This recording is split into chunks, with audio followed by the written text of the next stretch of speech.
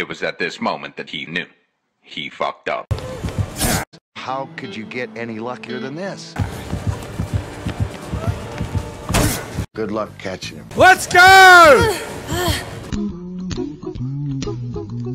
Here's a little song I wrote. You might want to sing it note for note. Don't worry.